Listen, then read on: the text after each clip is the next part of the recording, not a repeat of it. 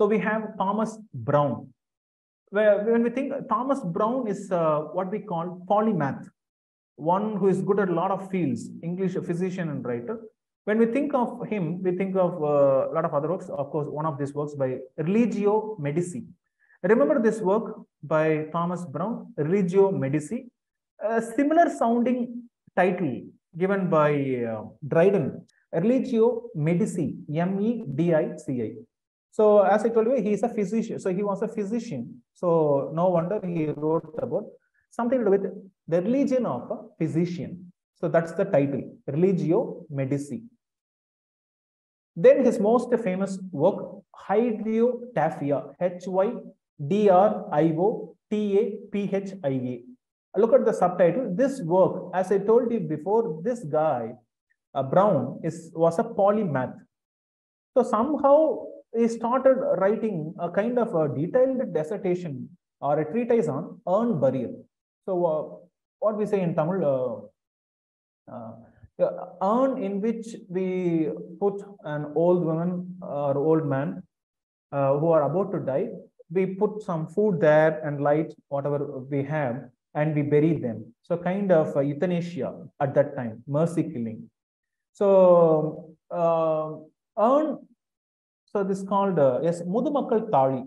Yes, uh, Mudumakkal Tali. Tali is an urn for old people. So uh, when we go for these archaeological sites, we find a lot of urns. So this Thomas Browne came up with Hydriotaphia. It's a dissertation or a treatise on urn burial or a discourse of the sepulchral urns lately found in Norfolk. Norfolk is interesting. You know, Norfolk also comes in uh, where? Um, Norfolk actually is a place uh, which also comes in a famous ballad. Anyone remembers the ballad in which uh, two children are taken by his uncle and finally they are left to die in a in, in the woods. And finally, Robin Redbreast, the birds, they come and pay tribute to these uh, two children who died there. And the ballad uh, is also referred to in um, Uh, in an essay uh, by uh, Elia. Yes. yes, uh, yes, uh, Elia? No, Dream Children. Okay. In Dream Children, yes, these children are referred to, and it's Babes in the Woods. That's the ballad where that thing happened in Norfolk. Similar way, Norfolk here. So it happened in Norfolk. So that could be an archaeological exploration where they found a lot of urns so this is a detailed description of those urns.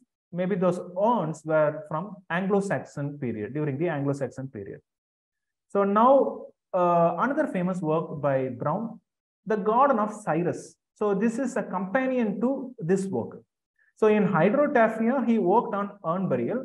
Its companion, it's called uh, Dip, D-I-P-T-Y-C-H, Diptych companion, kind of a mirror work the Garden of Cyrus, 1658. So in this work, it's an ambitious work. So in this work, he talks about the quincuncial lozenge, L-O-Z-E-N-G-E, or network plantations of ancients naturally, artificially, mystically considered. Simply put, see, look at in those days when you go for this uh, horticulture, gardening. So the book is about gardening. The first is on about uh, urn. This is about gardening. So in those days, they had a pattern. So when we go for gardening, so look at the uh, shape or arrangement of the trees. So it's like, looks like a square. So each end we have a tree, in the middle we have a tree. So totally five. So this five is called quincuncial. And this is how, just imagine you have a lot of five, five, five, five, five. So that's how a, a plantation is created. Why this kind of a structure? Because if, if there is a storm, the storm won't affect these trees much if you follow this pattern, quincuncial lozenge pattern. Because somehow the air would escape through this pattern. If you have other patterns, these trees would be knocked down. Of course, here trees uh, would be knocked down, but minimally. So that is the logic behind going for this pattern in horticulture. So taking this as the base, Thomas Browne works on some of the symbols in nature. First, he focused on the quincunx. So that's what he claimed in the title. So this is the subtitle of this work, Garden of Cyrus. So quincunx, Q-U-I-N-C-U-N-X, quincunx. So this is the shape. So kind of uh, square, uh, each end has a dot and the middle you have a dot. Quincunx is also called lozenge, L-O-Z-E-N-G. So simply put, using this as a symbol, he studied number five, number five in the sense uh, five, one, two, three, four, five, or the shape X, which also has five. The shape X has five, four corners and the middle one, five, or the network pattern, what you see on the screen. This is the network pattern. So in detail, I would say in meticulous detail, Thomas Browne studied the number five or X or network pattern in nature. For instance, he studied um, uh, animals and their bones. So if you take a bone and the edge of a bone, uh, one connecting to the other, has this uh, shape X.